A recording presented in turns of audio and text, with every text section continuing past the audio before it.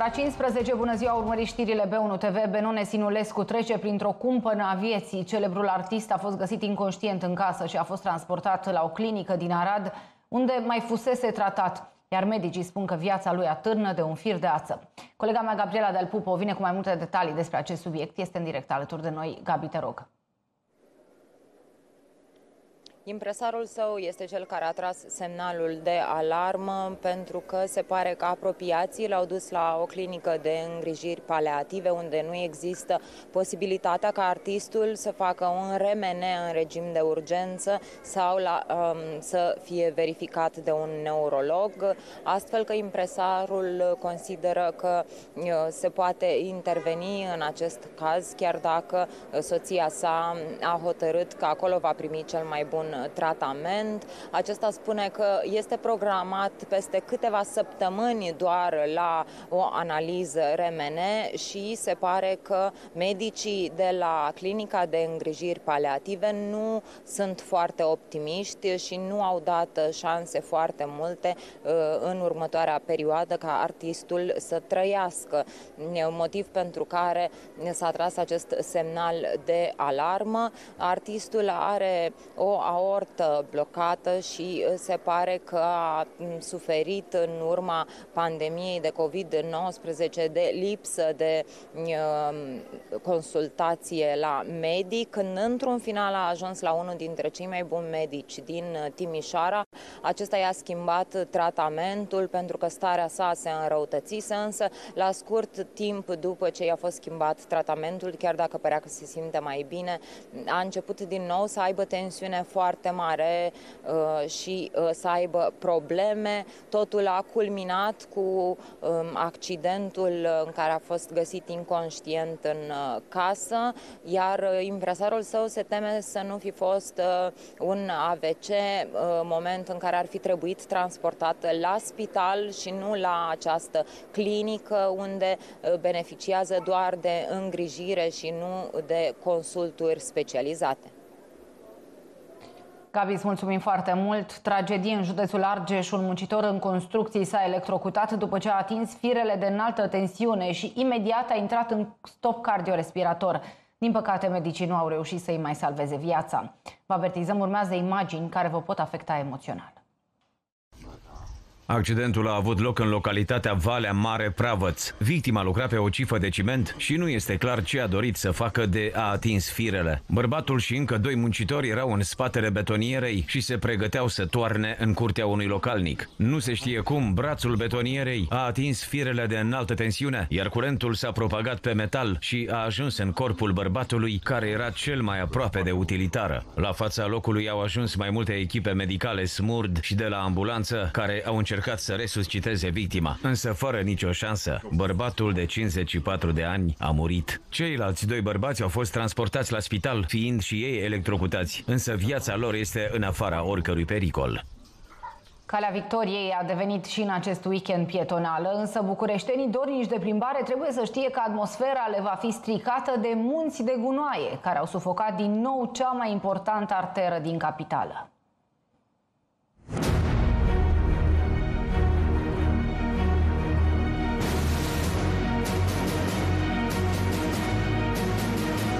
Un nou weekend canicular în care bucureștenii care ies la plimbare vor da nas în nas cu gunoaiele. Am observat că așa în tot centrul am ieșit și dimineața nu este singura stradă. Am fost și pe Elisabeta și mă întrebam ce s-a întâmplat, sincer, n-am înțeles.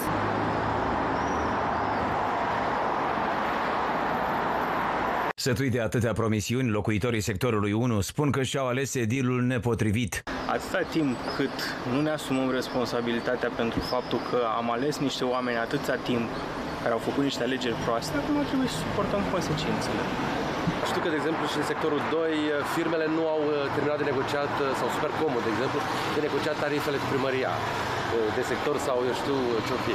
E clar că sunt chestii economice, calcule. O capitală europeană în care o plimbare prin oraș se poate transforma într-o amintire de coșmar cu munți de gunoaie și șobolani prin centrul Bucureștiului. Da, e păcat, parcă n-am fi capitala din Europa, parcă am fi în lumea a treia. Dacă dimineața era aglomerat pe drumul spre mare, ei bine, acum, la orele prânzului, este coloană de mașini pe rutele spre munte. Pe DN1, coloana de mașini depășește un kilometru în dreptul locali localității Comarnic. Amănunte aflăm de la comisar șef Ramona Tudor, de la Centrul Infotrafic al Poliției Române, în legătură telefonică directă. Bună ziua, doamna Tudor, ce date aveți, vă rog? Bună ziua, bine v-am regăsit. Pe principalele artere rutiere, dacă vorbim de autostrăzile A1 București-Pitești, A2 București-Constanța și A3 București-Ploieste, circulă la această oră în condițiile unor valori normale de trafic. Singurele, singura zonă, practic, cu um, anumite probleme de fluență rămâne DN1, Uh, Ploiești Brașov, respectiv în zona localității Comarnic, pe sensul către munte, se circulă în coloană intermitentă pe aproximativ 2 uh, km, însă valorile de trafic și acolo sunt în scădere. Le recomandăm conducătorilor auto să nu se angajeze în depășirea coloanelor uh, formate și să adapteze viteza tuturor condițiilor de trafic și de drum. Pe autostrada Soarelui uh, se circulă în condiții normale. La această oră știm că au fost probleme dimineață. Într-adevăr, la primele ore ale dimineții, valorile de trafic au fost crescute și din această cauză au fost înregistrate și două evenimente rutiere care au impus restricții de circulație. Din fericire, acestea nu s-au soldat cu victime. La această oră nu mai vorbim de acele probleme de fluență pe autostrada A2. Mulțumesc foarte mult pentru intervenție și pentru toate aceste informații. Vremea împarte din nou țara în două, dacă în sud și în est disconfortul termic se menține accentuat, în vest și în nord urgia lovește din nou. 15 județe din această parte a României sunt sub cod galben de vijelii și grindină până aproape de miezul nopții. Dintre județele vizate de codul galben se numără Alba, Arad, Bihor, Bistrița, Năsăud, Cluj, Hunedoara, Sibiu, Timiș și Vâlcea. Această nouă atenționare vizează instabilitatea atmosferică temporar accentuată, mai exact în zona Carpaților Occidentali, în sudul Banatului și sud-vestul Transilvaniei, precum și local în Carpații Meridional și nordul Carpaților Orientali. Vor fi perioade cu instabilitate ce se va manifesta prin averse torențiale, descărcări electrice, vijelii și pe alocuri grindină, iar cantitățile de apă vor depăși în intervale scurte de timp sau prin acumulare 20-40 de litri pe metru pătrat. Între timp, la câmpie, disconfortul termic este cel care dă bătăi de cap pentru că se va menține ridicat inclusiv duminică. Stațiunile de pe litoral sunt pline ochi de turiști, iar distracția este la cote maxime. Zeci de mii de oameni sunt așteptați și weekendul acesta la mare, deși prețurile sunt destul de piperate. Zeci de mii de turiști au ajuns deja la mare, în ceea ce înseamnă cea mai aglomerată perioadă de până acum de pe litoral, iar alte zeci de mii sunt așteptați în zilele următoare. Și exact ca în vremurile de dinainte de pandemie, camerele libere sunt tot mai rare. În acest moment este un aflux foarte mare de de turiști către, către litoral, inclusiv în agenția noastră, telefoanele sună în continuu pentru rezervări de last minute. Fără rezervare însă este o adevărată aventură să încerci să găsești un loc liber pe litoral, mai ales în weekend.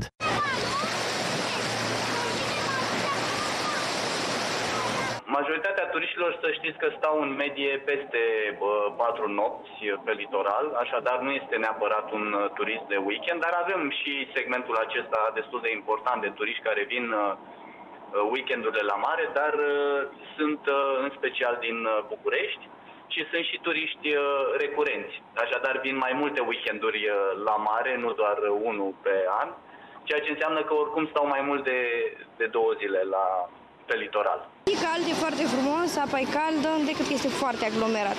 Suntem de trei zile și a fost ok, dar astăzi da, e un pic. De asta am ieșit din pandemia asta, ca să fie toată lumea liberă, să ne simțim bine, să ne distrăm bine. Salvamari încearcă să-i mai tempereze pe oameni și îi sfătuiesc să fie atenți pentru că marea are multe capcane și vor avea multă treabă. În jur de 100.000 de turiști sunt așteptați pe litoral în acest weekend. A fost haos pe autostrada 1 din vestul țării. Un microbus cu pasageri s-a răsturnat în mijlocul șoselei. 9 oameni au fost răniți și au fost transportați la spital. Traficul între Lugoj și Timișoara a fost blocat ore în șir din cauza acestui accident. Evenimentul a fost anunțat la ora 11.35. Am fost solicitat să intervenim la un accident rutier. Un microbuz răsturnat pe autostrada 1 la kilometru 480. La fața locului s-au deplasat mai multe forțe ale ISU Timiș, printre care două autospeciale de stingere cu modul de descarcerare, trei autosanitare SMURT, o autospecială de transport personal și victime multiple, trei ambulanțe SAS și 21 de pompieri, de asemenea, a fost uh, alertat uh, și elicopterul SMUR care s-a deplasat la fața locului. În uh, microbus se aflau 9 persoane, adulți, cetățeni străini. Toate cele 9 persoane au primit îngrijiri medicale și au fost transportate la spital. Apar noi date din dosarul fraudelor informatice de milioane de euro orchestrate în Vâlcea. Opt dintre hackerii care au speriat Europa au fost arestați. Gruparea ar fi dat un tun de 2 milioane de euro în mai puțin de un an. Magistrații vâlceni au dispus arestarea a opt dintre suspecții amplului caz de fraude informatice din Vâlcea. Acest județ a dobândit de ceva vreme faima negativă de Hackerville-ul românesc, aluzie la un film despre rețelele de criminalitate online. Prejudiciul în acest dosar trece de 2 milioane de euro. Inițial, cei opt hackeri fuseseră reținuți în urma a 10 de percheziții domiciliare făcute în Vâlcea, București și Atena. Surse din anchetă citate de mass media spun că printre cei arestați ar fi rude ale unor politicieni și persoane influente din județ. Aceștia sunt acuzați de fraude informatice, spălare de bani, trafic de droguri și falsificare de acte oficiale. În timpul pandemiei, aceștia ar fi deschis sute de conturi bancare cu acte false. Potrivit anchetatorilor, gruparea din care făceau parte 16 persoane ar fi comis infracțiunile în țări precum Ungaria, Spania, Polonia, Germania și Olanda. Numai în Ungaria s-au descoperit peste 200 de conturi. Acestea ar fi fost puse la dispoziția hackerilor în schimbul unei taxe de 30% din sumele obținute, potrivit adevărul.ro. Până acum, autoritățile au recuperat doar 10% din prejudiciu. Pe lângă bani, după cele aproximativ 30 de percheziții, au fost confiscate telefoane, tablete, ceasuri și chiar un pistol cu gloanțe și droguri. Imagini inedite din Brașov, unul dintre cele mai vechi tunuri cu apă ale orașului a fost pus la pământ. În locul lui va fi ridicată o fabrică. Iată momentul prăbușirii construcției.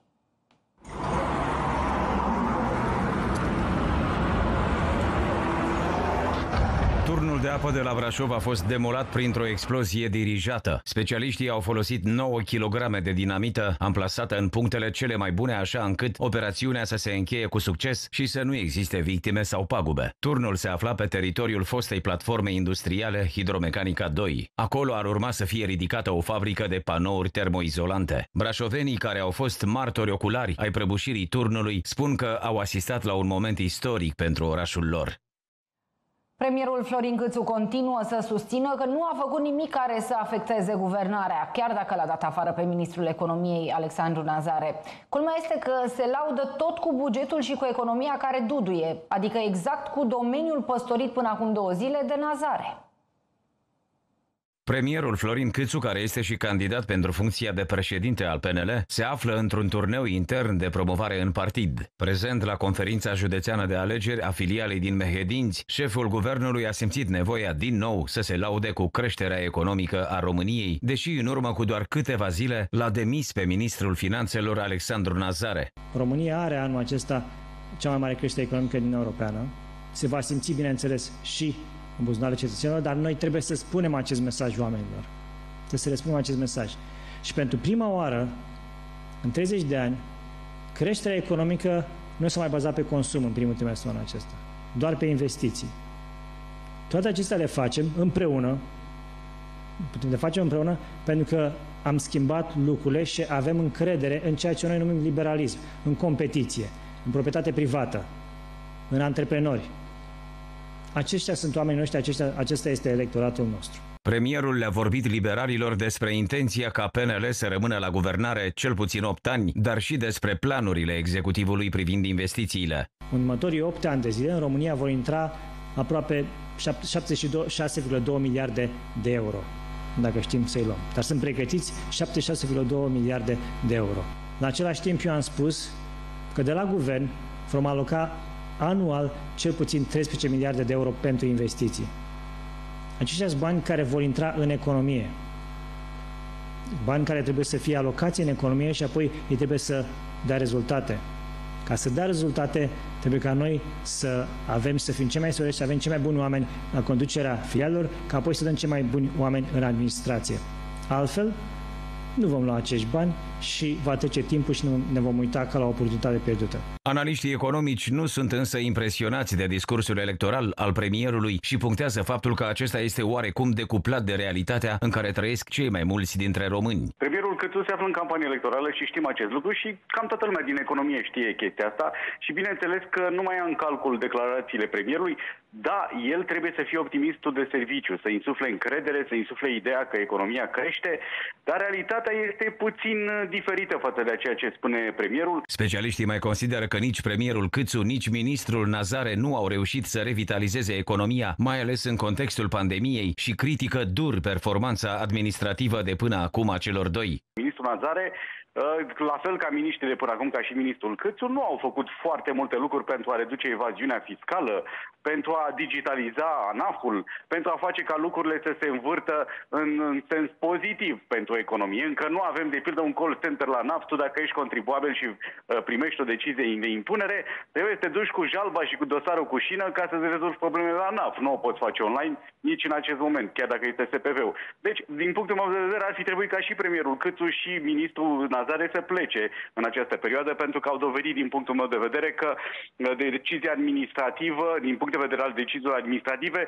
nu au susținut aproape deloc economia în anul uh, COVID. Au fost simple măsuri cu caracter social menite să, uh, să stimuleze menținerea angajaților um, pe baza salariului șomajului tehnic, dar în rest, stimulente pentru economie nu au fost.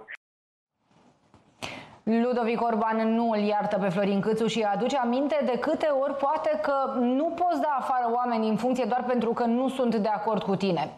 Președintele PNL spune însă că oricâte încercări de intimidare ar avea premierul în campania internă din partid, nu îi va răspunde cu aceeași monedă. Eu nu am dat afară niciun membru al Partidului Național Liberal dintr-o funcție publică doar pentru că, doar pentru că nu mă susține pe mine. Și astăzi aveți reprezentanți ai filialei PNL Bistrița și era minima recunoștință ca acești oameni să, fiți, să fie numiți în funcțiile de demnitate publică pentru care au fost susținuți de filiala PNL Bistrița. Nu să numiți nici astăzi, să spunem adevărul. Da? Nu a fost singurul reproș pe care i l-a făcut Ludovic Orban premierului Florin Câțu. Nu se aștepta la atacurile venite de la șeful guvernului, spune liderul PNL. Nu vreau să mă plâng de faptul că am devenit sac de box pentru mulți colegi de-ai mei. Sunt obișnuit. Sigur că e adevărat că sunt obișnuit să fiu atacat de PSD, nu de colegi de-ai mei. Cu toate astea vă garantez, nu voi răspunde. Voi avea exact mesajul meu pozitiv, proiectul meu, viziunea mea, obiectivele pentru Partidul Național Liberal și obiectivele sunt foarte simple să păstrăm Partidul Național Liberal pe primul loc și să câștigăm toate alegerile din 2024. Împreună cu voi vom reuși. Doamne ajută! România se confruntă cu fenomenul îmbătrânirii și al mortalității în rândul populației, arată datele Eurostat. Pandemia de COVID-19 a avut un impact major asupra europenilor. UE a înregistrat în anul 2020 un record de decese pentru ultimii 60 de ani, potrivit primelor statistici. Mai multe detalii are colega mea Cristina Corpaci.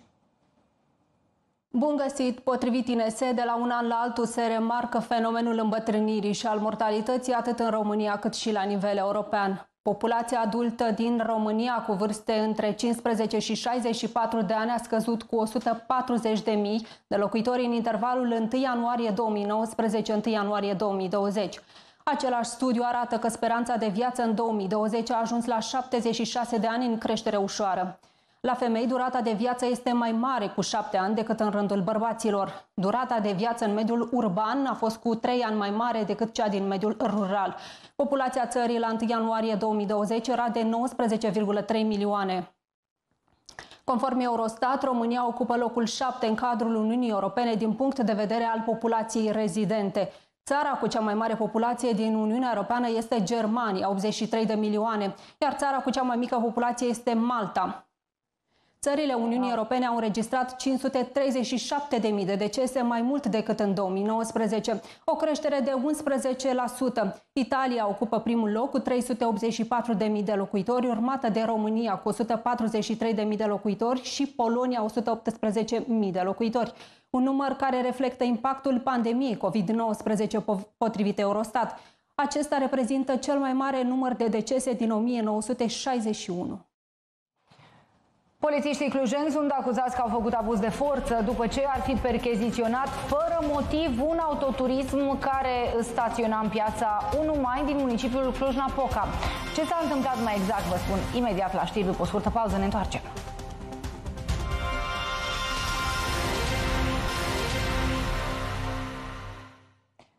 Continuăm știrile. Înotătorul David Popovici a stabilit un nou record mondial la campionatele europene de înot pentru juniori, de această dată în semifinala probei de 200 de metri liber.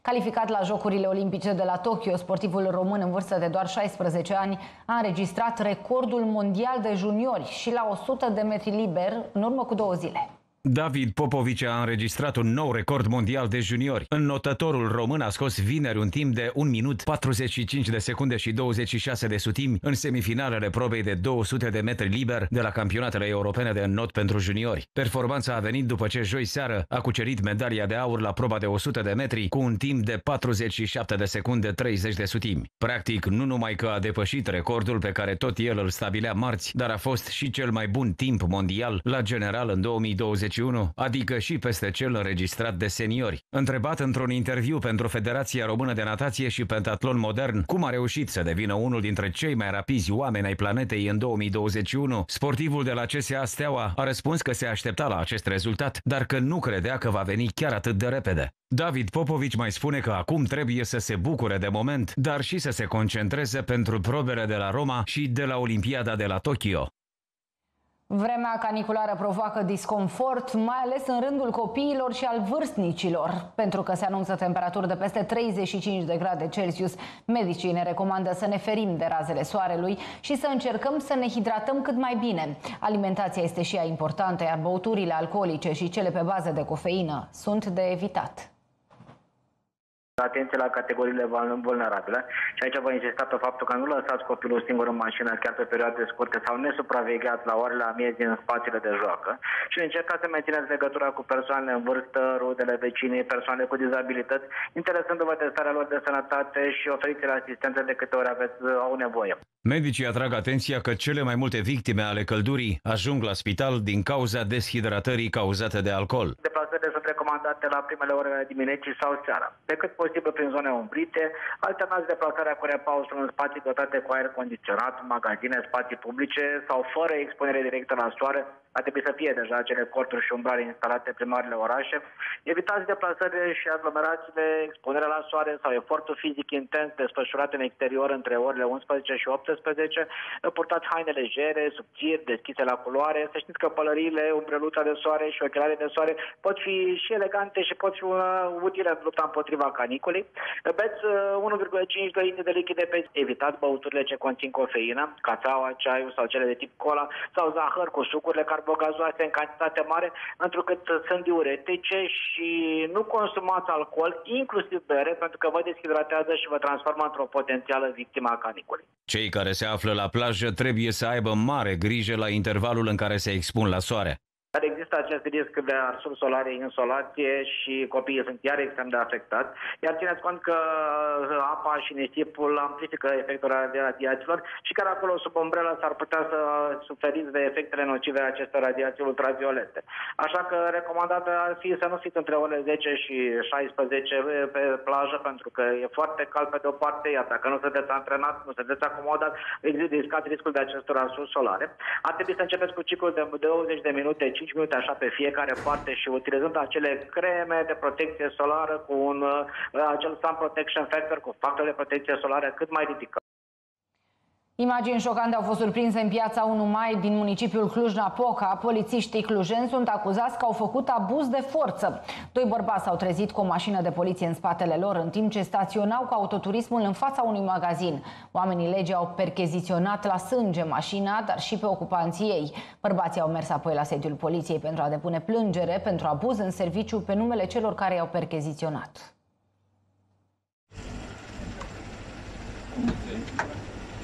Ce caută Nu știu, mă întreb. Șoferul mașinii spune că polițiștii au început percheziționarea lor și a mașinii sub pretextul unui far care nu funcționa, cu toate că oamenii staționau în acel moment. Dar cu ce trebuie caută în mașină A, mă întreb și eu. În imagini se vede cum un polițist percheziționează mașina, iar pasagerul filmează toată acțiunea. Ați găsit gunoaie? Bunuri, ce ai prin buzunare, te rog să pui acolo pe mașină. Dar eu de Pune mă o dată acolo pe ce ai pe mașină când ți-am zis, pune acolo. Imaginele surprind agresivitatea polițiștilor. Pasagerul care filma evenimentul este bruscat de un polițist și percheziționat. Dar de ce? Ia, taci din gură, mai te comenta. Așa zic eu. Nu este însă clar motivul pentru care polițiștii au acționat în acest mod. Polițiștii au aplicat amendă pentru că farul nu funcționa. Imediat după eveniment, bărbații agresați au depus plângere împotriva celor care i-au percheziționat. Intervenție dramatică în statul american Kentucky, unde polițiștii au prins un bărbat care răpise o fetiță chiar din fața casei unde locuia. Cum s-a terminat totul, vă spun în doar câteva minute. Revenim după publicitate.